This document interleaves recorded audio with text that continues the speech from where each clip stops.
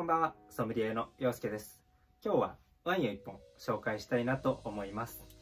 こちらですね、ラ・バーグ・ブルー、青のスパークリングワインです。これ、ボトルが青いわけじゃないんですよ。ちゃんと中のワインが青いんですよね。じゃあ早速抜栓していきたいと思います。バーグブルーっていうのは、青い波という意味のフランス語のようですね。ちなみに産地は、えー、プロバンスです。プロバンスっていうと地中海にも面していて非常にこう風光明媚な場所のイメージがありますよね。ロゼワインなんかも有名ですけどそうですねロゼと並べて写真とか撮ってみたらすごい可愛いでしょうね。いつもは僕あのテイスティンググラスで、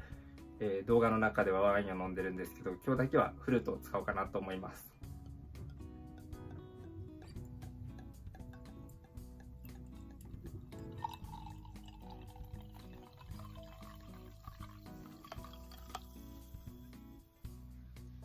すごいですね。泡まで青く見えますね。ちょっと僕の服が黒いので、ちょっと白いものをあてがってみます。こんな感じの色味ですね。まず香り、アロマ、うん。うん、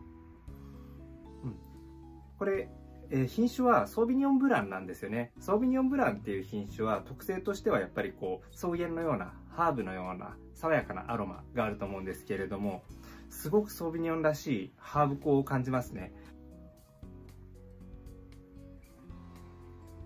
うん。口当たりは割とはっきりした酸がありますね。レモンとか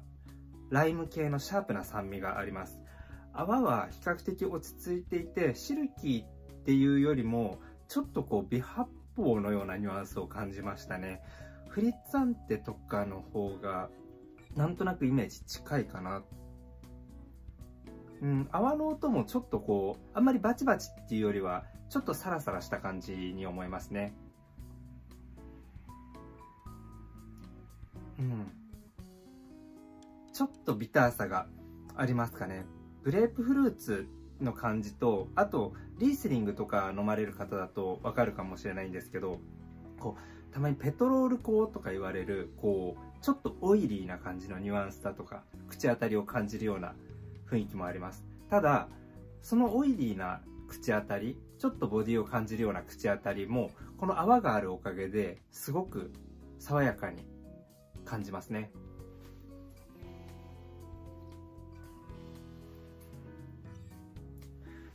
うん。余韻にはちょっとこう苦味と酸味がさらっと残りますね。あんまり余韻は長い方じゃないかなと思います。ただその分食前酒としてすごいいいような気もしますね。見た目の割に結構親しみやすくて普通にこういうワインが1杯目にテーブルに出てきたら嬉しいなと僕は思うようなワインかもしれません。せっかくなのでこのラ・バーグブルーというワインについてちょっといただきながらエピソードだとか作り手さんについてのお話だとかをさせていただければと思います。やっぱりワインってその背景を知りながら飲むと普通に飲むよりも何倍も楽しめたりとかそのワインに対する思い入れが増したりするような気がするんですよね。このワインを作ってる作り手さんはエルベ・ケルランさんという人なんですよね。エチケットには比較的控えめな感じでお名前が載ってますね。一番下の筆記体の場所なんですけど読めるでしょうか？エルベ・ケルランさん。そう。で、彼、エルベ・ケルランさんの、えー、ワイン作りのコンセプトとしては、えー、手頃な高級品っていうコンセプトがあるんですよね。で、えー、まあ、どうでしょうね。手軽な高級品っていう言葉だったりとか、この見た目も華やかな青のワイン。まあ、ともするとちょっとこう商業主義的っていうんですかね。なんかこうコマーシャルチックというか、こう珍しいものを作って、なんか消費者の心掴んで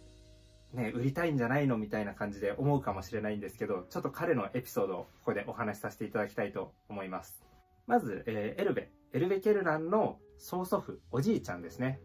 アントワーヌ・シェーズっていう人なんですけど、彼は、えー、ネゴシアンだったんですよね。ネゴシアンっていうのが一体何なのかというと、農家さんからブドウを買い入れて、そのブドウでワインを醸造する。そして販売していくような形態。それがネゴシアンです。そう、樽ごとワインを買ったりとか、あとは瓶詰めされてるワインを買ってで熟成させた後で販売したりとかさまざ、まな方法で自社のワインを市場に送り出してるわけですねネゴシアン。でそんなおじいちゃんのアントワーヌ・シェーズさんは、まあ、ネゴシアンでもあったんですけれども自分でも畑を持ってたんですよね。100ヘクタールぐらいの。でそれプラスいくつかのこう結構名高い畑のオーナーでもあったそうです。もともとこのワインを生み出したエルベ・ケルランの周りには自然にワインっていうものが自分の身の回りの環境にあったような。じゃあそのエルベの両親はどんな人だったかというとこの父と母もなんとこうブドウ畑で出会ったというなんかロマンチックというかちょっと運命的な出会いをしてるんですよね。ワインに導かれたなんていう言い方をしちゃってもいいかもしれません。でその後2人は結婚してでモロッコに転勤になったらしいんですよ。そして1953年に彼エルベケルランが誕生します。で誕生から3年後、えー、1957年父は、えー、モロッコからフランスのリブルヌという場所ですね。フランス南西部のボルドーの近くの町です。そこで妻の、まあ、なのでエルベのお母さんの実家であるネゴシアンペラ・シェーズというネゴシアンの家業を引き継ぐわけですね。しかししかしその後エルベ・ケルラン、えー、11歳になるんですがその時にエルベの人生にすごい試練が襲いかかるんですよ。それも2つですね。まず1つ目母親が亡くなってしまうんです。そして2つ目1976年には、実家の家業ネゴシアンが売却されてしまいます。エルベにとっても家族にとっても辛い試練の時期ですね。11歳ですからね。日本で言えば小学校5年生前後とかですかね。そんな時に母親を亡くし実家のワインのネゴシアンが売られてしまうという本当思春期の子供にどれだけのダメージを与えるだろう。もう本当に偉い試練だなということが一気にエルベに降りかかるわけですよ。でも若きエルベ・ケルランはそこで負けないんですよね。彼を突き動かしたのが好奇心でした。もっと自分の目で世界を見たい。そしてその思いからエルベ・ケルランはフランスから世界へと飛び立っていくことになります。エルベの不屈の闘志みたいのすごいですよね。お母さんが亡くなって実家亡くなってでも世界を見たいって言って世界へと羽ばたいていくわけですよ。そうなんで彼がこんなことできたのかっていうところがこのお父さんの影響があるようなんですよね。エルベの父シャルル・ケルラン。彼は公共土木事業に関わる優秀なエンジニアさんだったんですよね。と同時に仕事でこう世界を駆け巡る冒険家だったと言われております。父は息子のエルベに海を越えて新しい世界を発見するという醍醐味を教え世界を理解して変革していくためには科学的な知見が不可欠であるということを教えました。そんな父の教えもあってかエルベは、えー、バカロレア資格シンプルに言うとまあ大研みたいなものなんですけど世界共通の大学に入学できる資格みたいなものですかね。そのバカロレア資格を持つことで、えー、世界の大学に入学できるっていう資格が得られる。そんなものですね。そのバカロレア資格を取得し英語とコミュニケーション学を学び、そして1977年、カナダのケベック州に移住します。で、移住した先のカナダで、彼は夏は映画のフィルムの仕事をするんですよ。で、冬はワインの仕事をする。そして10年以上の月日を過ごします。そう、なんだかんだエルベの周りからは、えー、ネゴシアンで、えー、畑のオーナーだったおじいちゃん。で、えー、ブドウ畑で出会った父と母。そしてお母さんの所有するネゴシアンがあったり、で、移住先のカナダでは10年以上冬にワインを売る仕事をしたり、ずっとこう、ワインっていうものが自分の人生について回っているような、そんな生き方をしてたんですよね。そんな彼の次なる転機は1988年。エルベはカナダの中でも今度はバンクーバーに移住してワインのビジネスに専念することになります。そこでやってたのはワインの営業マンの仕事ですね。で、え、それを通してなのか、エルベは、えー、アジア、アジアに焦点を当てます。20世紀末にはアジアが最大のマーケットになるんじゃないか。というふうに感じて、1991年にフランスに戻って、今度はブルゴーニュですね。ブルゴーニュのメゾンに入って、そこで営業部長を務めるというふうになっていきます。そして1993年、起業です。ディテクトドメイヌディストリビューション DDD という会社を立ち上げ、有名なドメインをはじめとして、ブルゴーニュワインを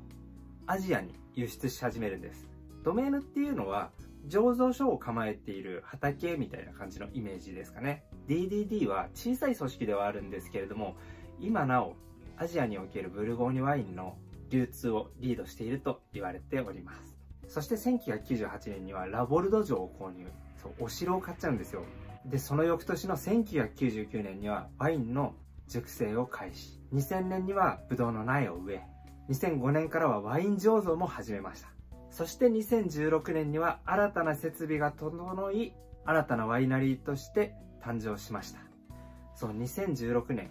今が、この動画を撮っているのが2020年なので4年前。フランスのラバルド城、そんなことになってたんですね。エルベ・ケルランがお城でワインを作っていたと。うん。いかがでしたでしょうか、えー、このラ・バーグブルー、青い波という意味を持つ青のスパークリングを作り出したエルベ・ケルランの物語。そう、なんていうか、まあ冒険家ですよね。逆境にもめげずに挑戦して、で、やっぱり身の回りにずっとワインがあったせいか、うん、ワインへの情熱を絶やすこともなく、取り組み続けてきた結果、この一杯が生まれたと思うと、なんか感慨深いところもありますけど、どうお感じになられたでしょうか？最初はちょっとやっぱり商業主義的だなとか、まあ、見た目のインパクトだけかなって思われる方もいるかもしれないですけど、でもこう考えると、やっぱり彼の冒険心というか、挑戦する心、やっぱり新たなこと、新たな世界っていうのに彩られたワインにも思えてくるから不思議だなと思います。いろいろお話ししたので、ついでにもう一個だけエピソードを付け加えさせていただければと思います。エルベ・ケルランの栽培コンサルタント、まあ、ブドウ栽培のコンサルをしてる人が、ジャン・イブ・ビゾーさんっていう人なんですけれども、この人がどういう人かっていうと、アンリ・ジャイエの